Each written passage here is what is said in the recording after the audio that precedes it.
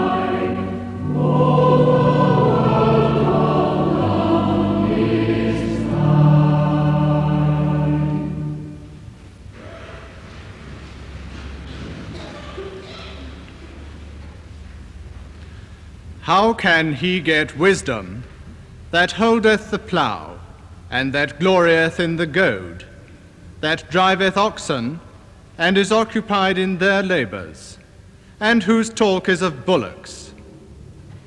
He giveth his mind to make furrows, and is diligent to give the kine fodder.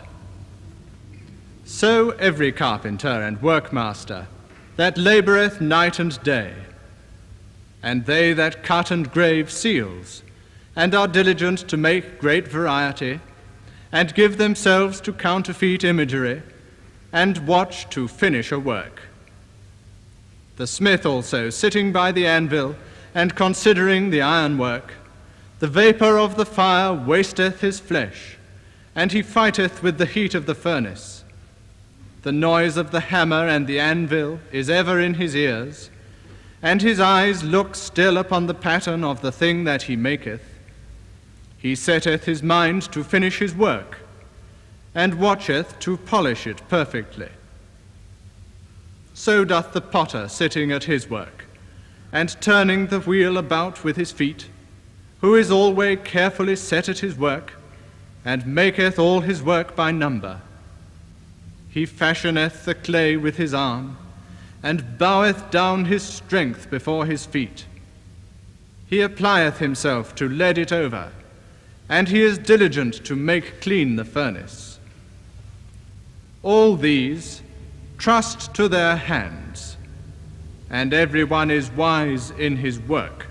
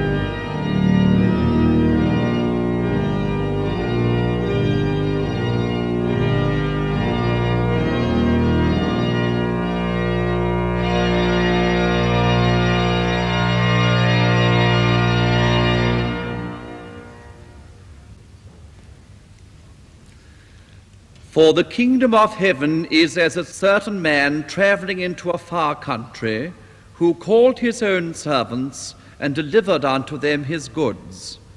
And unto one he gave five talents, to another two, and to another one, to every man according to his several ability, and straightway took his journey. Then he that had received the five talents went and traded with the same, and made with them other five talents. And likewise he that had received two, he also gained other two. But he that had received one went and digged in the earth, and hid his Lord's money. After a long time the Lord of those servants cometh, and reckoneth with them. And so he that had received five talents came and brought other five talents, saying, Lord, thou deliveredst unto me five talents. Behold, I have gained beside them five talents more. His Lord said unto him, Well done, thou good and faithful servant. Thou hast been faithful over a few things, I will make thee ruler over many things. Enter thou into the joy of thy Lord. He also that had received two talents came and said, Lord, thou deliveredst unto me two talents. Behold, I have gained two other talents beside them. His Lord said unto him, Well done, good and faithful servant. Thou hast been faithful over a few things. I will make thee ruler over many things. Enter thou into the joy of thy Lord. Then he which had received the one talent came and said, Lord, I knew thee that thou art an hard man, reaping where thou hast not sown, and gathering where thou hast not strawed. And I was afraid, and went and hid thy talent in the earth. Lo, there thou hast that is thine. His Lord answered and said unto him, Thou wicked and slothful servant, thou knewest that I reap where I sowed not, and gather where I have not strawed. Thou oughtest therefore to have put my money to the exchangers, and then at my coming I should have received mine own with usury. Take therefore the talent from him, and give it unto him which has ten talents. For unto every one that hath shall be given, and he shall have abundance. But from him that hath not shall be taken away even that which he hath.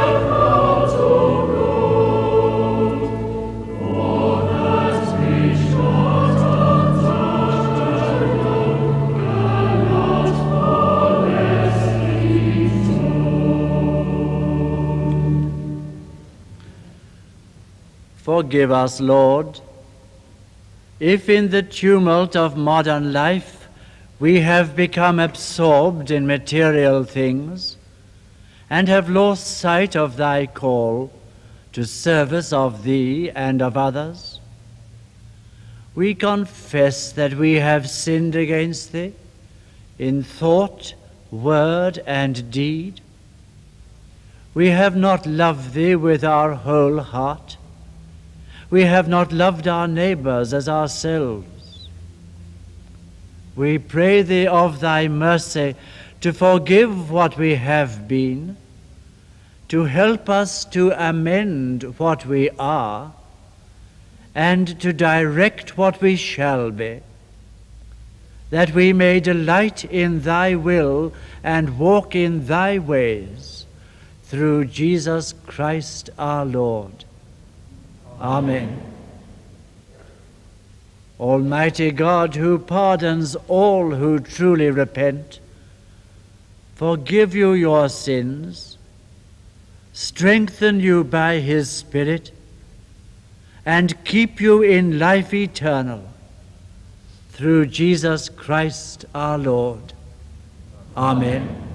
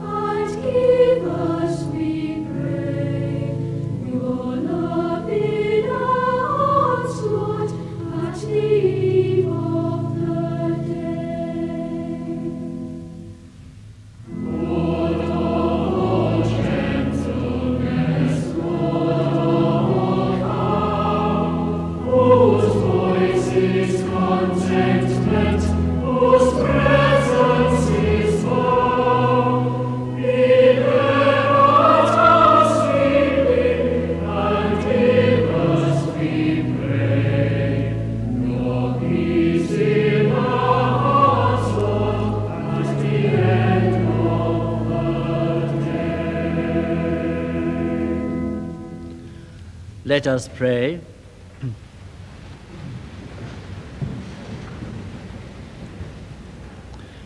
God our Father, Thou didst give Thy Son, Jesus Christ, to share our life on earth, to grow in wisdom, to toil with His hands, and to make known the ways of Thy kingdom. We give Thee thanks for this, His revelation of Thyself, His care for people, His joy in obedience, for the value He gave to human labor, the strength He promised us for service, the call to follow in His way, for the opportunities of work and of leisure all truth that we have learned, all discoveries that man has made. We pray for society, those who work, those in management, the unemployed, those in research, those who guide the thinking of the people, those who maintain the life of the community. Give us growing reverence for truth and such wisdom in the use of knowledge that thy kingdom may be advanced and thy name glorified. Through Jesus Christ our Lord. Amen. Our Father, our Father, which art in heaven, hallowed be thy name. Thy kingdom come, thy will be done, in earth as it is in heaven. Give us this day our daily bread, and forgive us our trespasses, as we forgive them that trespass against us. Lead us not into temptation, but deliver us from evil. For thine is the kingdom, the power, and the glory, forever and ever. Amen. And so we dedicate ourselves to God in the singing of the hymn, O Jesus, I have promised.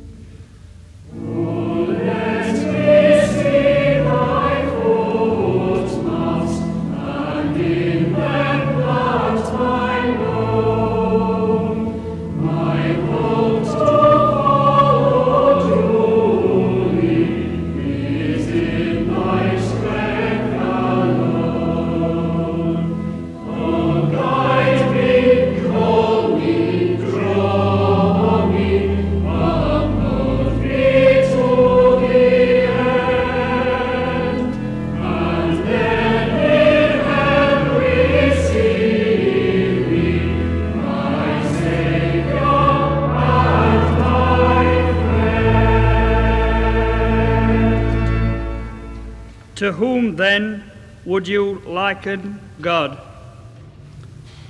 Hast thou not known?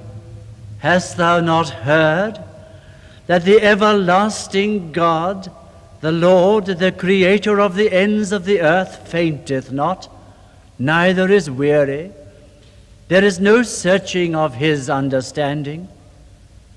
He giveth power to the faint, and to them that have no might, he increaseth strength.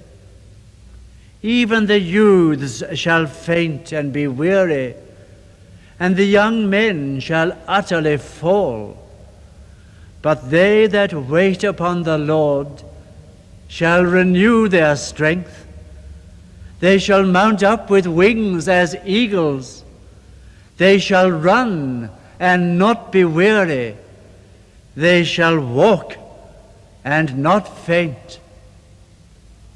The blessing of this God Almighty, the Father, the Son, and the Holy Ghost be amongst you and remain with you always.